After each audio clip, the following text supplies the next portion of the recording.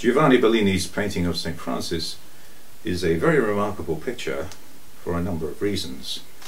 It is a wonderful demonstration of Bellini's ability. He would have been aged about 45 at this time. It's also a landmark painting in the uh, development of the Venetian Baroque. And it also constitutes a enigmatic approach to the subject matter, which by then had a substantial tradition of representation.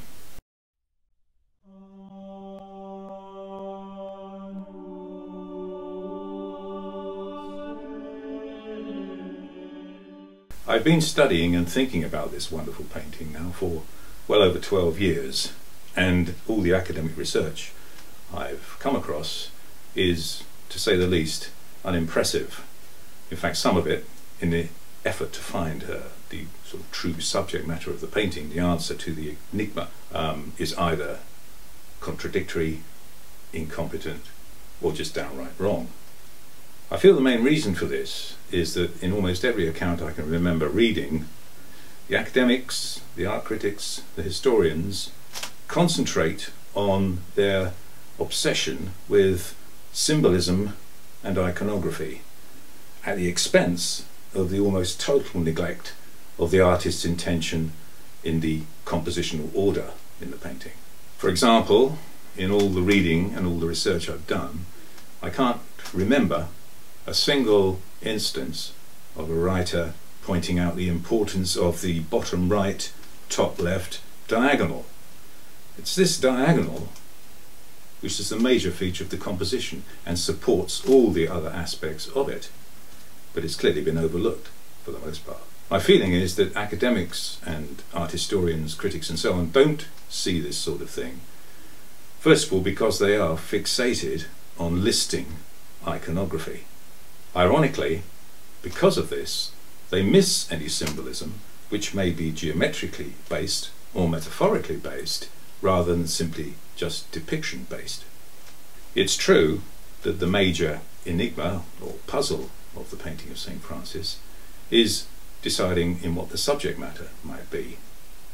But there are other difficulties too, one of which is the absence of the top edge of the picture at some stage is quite clearly being cut. And it wouldn't be much help to try and resolve this by reference to symbolism alone. No one that I've come across has attempted to answer this question by compositional analysis. But I have. And what is more, I've come up with an objective conclusion which is perfectly consistent with the work done by the Metropolitan Museum of Art in 2010 on the painting looking at X-rays, looking at chemical analysis, pigment, and structural analysis of the panels and the way they were put together. The conclusion reached by the Met was that the painting had been cut by a few centimetres at most, and I'm quoting. My conclusion suggests that what's missing at the top edge of the painting is 1.6 centimetres, and those two things are perfectly compatible. So how did I get to that?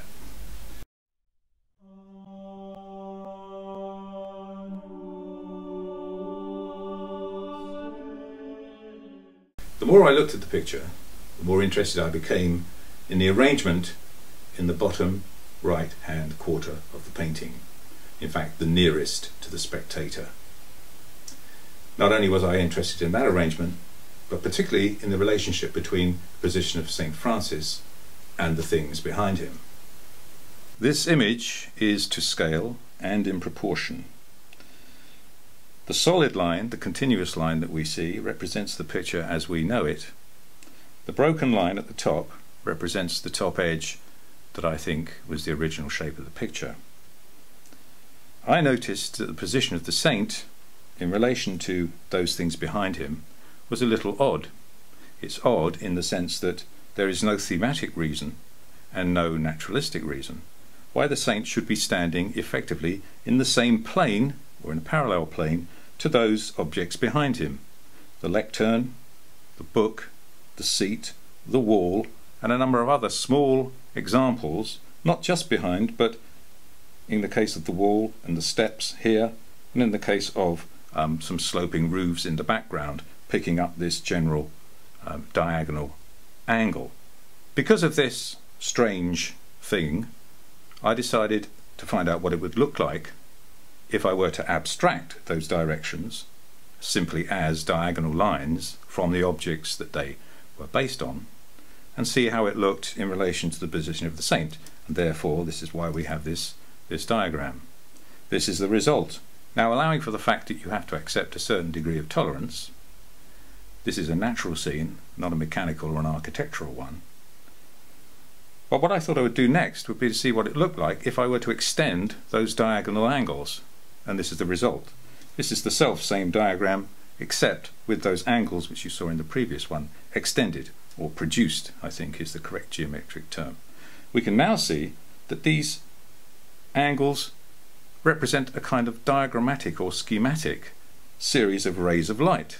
It's quite clear looking at the picture that St. Francis is looking at something.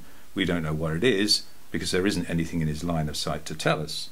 So perhaps he's looking at something which is actually beyond the picture. Not only do these extensions of the diagonals, as it were, represent a, a, a schematic uh, a set of uh, light rays, we know that light is falling on the saint, not only do they do that, but they also simultaneously follow the direction of the landscape. And if you look at the painting, these lines move out of the picture at approximately the same place where the landscape does too. My contention is that there may be a geometric basis for understanding the subject of the painting just as much as there is a symbolic one.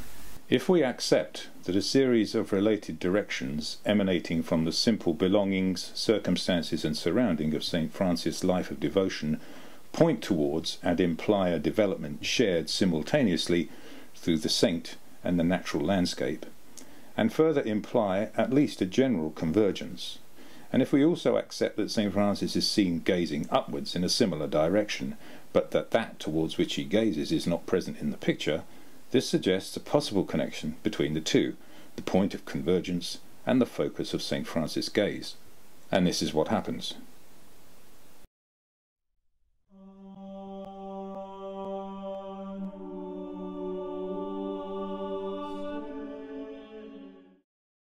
A remarkably specific point of convergence at a position consistent with the saint's stare. And equally remarkable, this point marks the corner of a golden rectangle, the sides therefore being in the ratio 1 is to 1.618. Having observed Bellini's use of a square as a starting point, the golden rectangle is, as it were, a natural progression. Thus Bellini has given us a wonderful compositional allegory, a grand structural metaphor for the devoted life of St. Francis confirmed in the stigmatization but without evoking any supernatural imagery. A marvellous reciprocal design where the aim is also the source, from earthly life, seeking the divinity, and from the divinity back to the saint. But why should the corner of the rectangle be identified with the divinity? Because that point establishes the difference between the two sides, and is thus the very arbitrament, the pivot the determinant of the golden ratio of those lengths. Perhaps, you may say, this is all coincidence, but consider this. Working in Venice in the last decades of the 15th century, as well as Bellini, was the mathematician Luca Pacioli. Pacioli was a Franciscan and was involved in the publication of treatises by Piero della Francesca. In 1509, Pacioli published his own treatise on the golden ratio, and he entitled it De Divina Proportione, the divine proportion.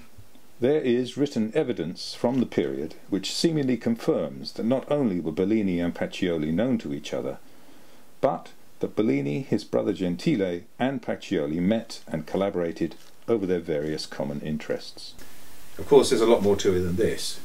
So if you're interested further, why not go to my website, read the essay, or even better, book me to present the lecture go to www.gfwessaysandlectures.co.uk.